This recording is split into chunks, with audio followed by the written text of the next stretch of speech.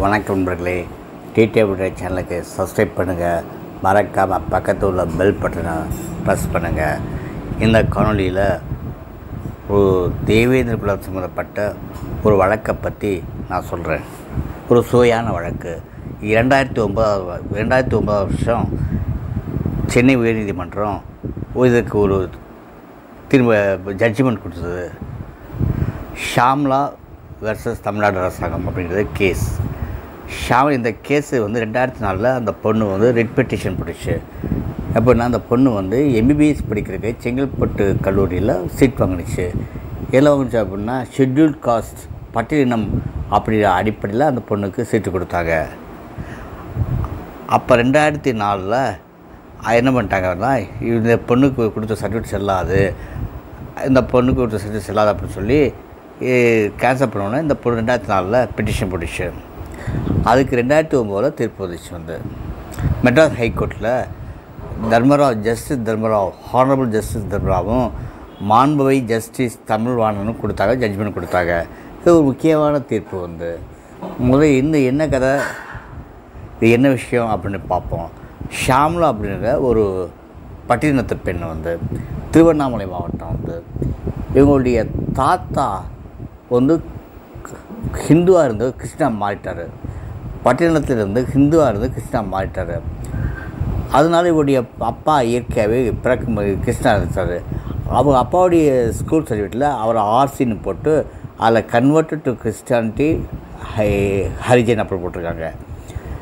அப்பாவுடைய பேர் வந்து கிறிஸ்டின் பேராக இருந்துச்சு வந்து. இதுதான் பிரச்சனை. அதுக்கு பின்ன என்ன விட்டாங்க இவர் என்ன பண்ணிட்டார்? இந்த ஒரு பொண்ணுக்கு அப்பா விட்டார்.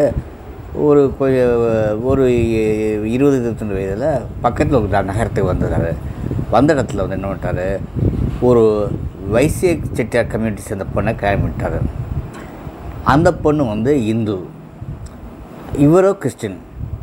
குடும்பம் நடத்துகிறாங்க எப்படி குடும்பம் நடத்தா மறுபடியும் ஆதித்தரோட தான் குடும்பம் அட்ட அட்டவணைப்பட்ட இடத்த இட இனத்தில் இணைந்து வாழ்ந்து நடத்து குடும்பத்தை நடத்துறது.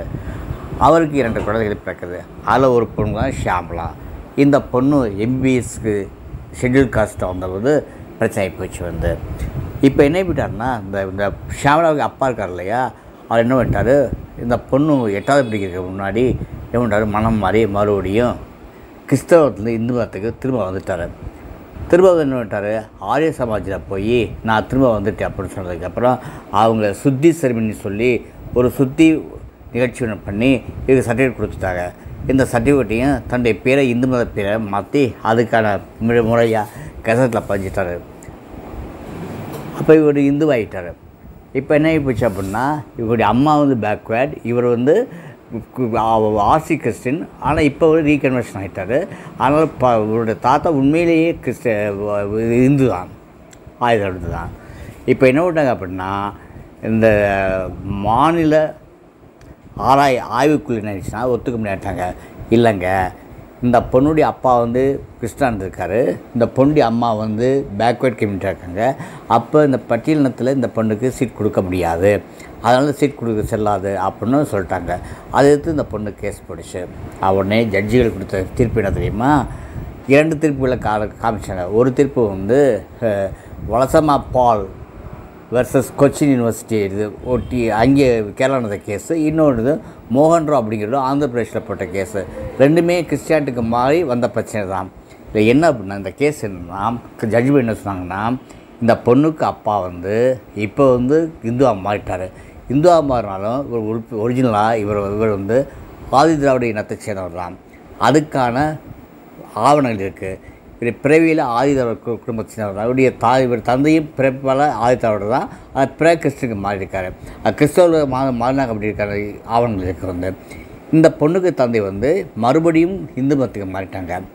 மாறினதுக்கு அதுக்கு ஆவணங்கள் இருக்குது ஆனால் ஆனால் மாறினதுக்கப்புறம் மறுபடியும் அதே இனத்தோடு அதே ஊரில் வாழ்ந்துருக்காங்க அதோ இனத்தோடு அதே பழக்க வழக்கங்களில் வாழ்ந்துருக்கா இருக்குது அந்த சமுதாய மக்கள் அஹ், தாசிதாரங்க சர்டிஃபிகேட் கொடுத்துருக்காங்க. ஆக திரும்பவும் அவர் ஜாதியம் வர முடியும். ஜாதி ஜாதிமருக்கு ஜாதி அதாவது மதம் மாறலாம். ஒரு ஒருத்தர் மதம் மாறுறதுக்கு உரிமை உண்டு. ஆனால் ஜாதி மாற முடியாது. அதுக்கு உரிமை கிடையாது.